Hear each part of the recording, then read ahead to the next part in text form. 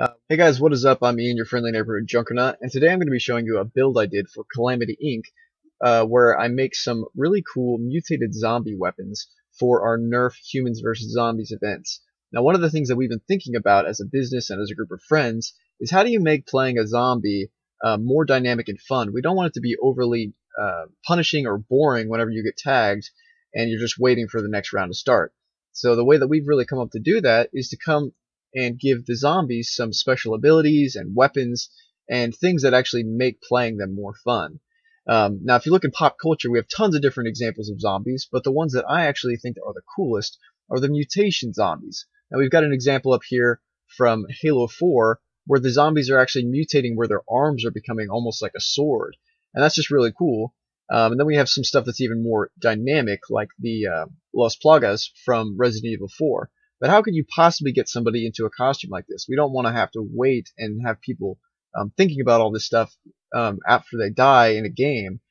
Um, so rather than going for something that's going to be more like a makeup or a costume, uh, we're going to angle it much more towards something that is um, like a traditional armor or weapon, like a sword or a spear or a whip, but actually still looks vaguely zombie-esque.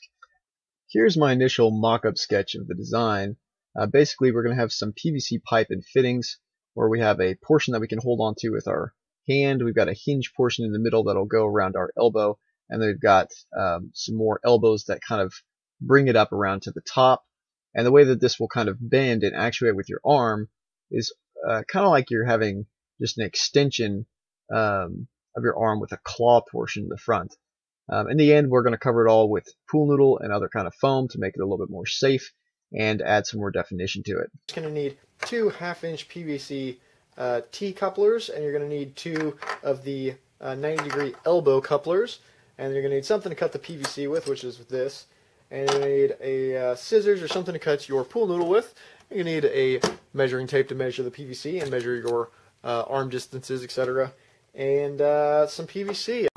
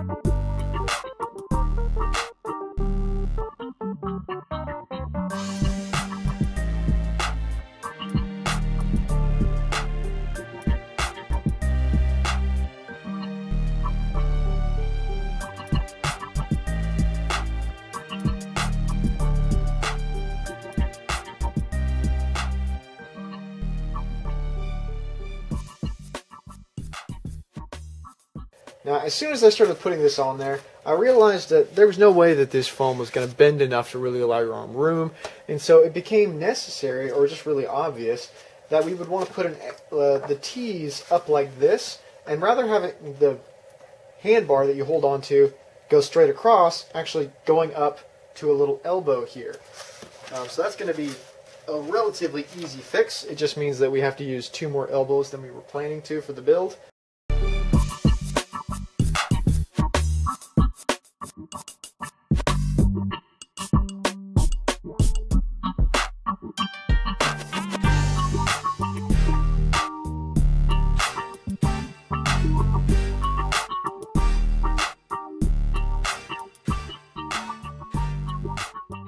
Decent for a first attempt. You could fill all this in with more foam or uh, just you know duct tape across it so that there's a solid surface back here. You've got this whole shoulder pallet uh, pauldron right here. I think that's what it's called.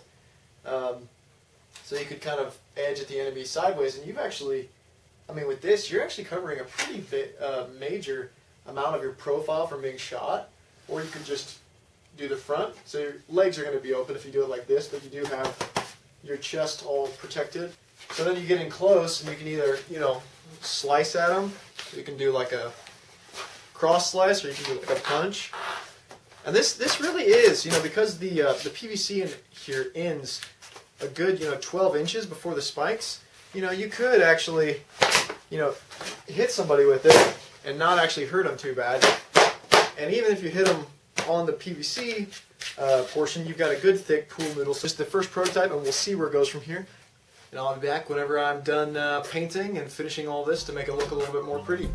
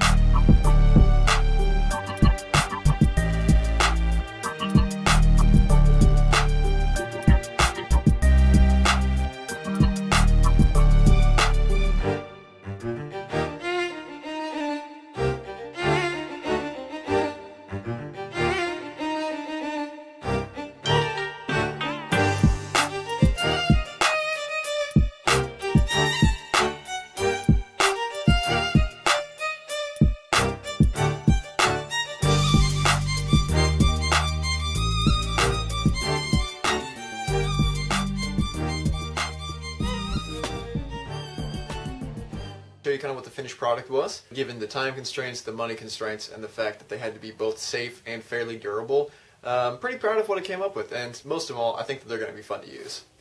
Straps like that, and then you've got a very large mutated stabbing arm. This very large mutated section to kind of help block with bullets if you go sideways. This one has a single strap, goes into the crook of the elbow. So then you got this one, which has a pretty long reach actually.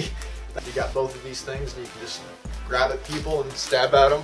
You can actually block, you know, a fair amount of uh, darts that are coming at you, so you could block with one and you could actually stab with the other.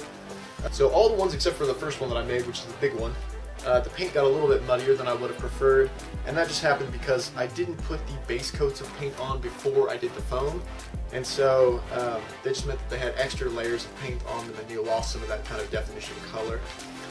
Then we got this one, uh, which is more in an actual like sword orientation instead of being like a lance, like something you're stabbing with. You're put on a lot of kind of organic tentacle, weird looking things on there. So again, this one just has a single arm strap that kind of helps stabilize it onto your arm. Then you have basically what would be the handle of the sword, and then you've got this big, big long thing that you can swipe at people. Uh, very original idea, which was to get a hold of some of those uh, Hulk hands, and so it actually you know, doesn't look that much like a fist. You could actually model it a lot better. Uh, I just did what, what was going to be the easiest and fastest way to do it. So it does actually look like kind of a big fist, You've got enough of a thing that you could actually block a little bit, but you can also definitely punch people. Thank you so much for checking out this kind of silly build video of me making these zombie mutation weapons for the next Calamity Inc. event that's happening on February 17th.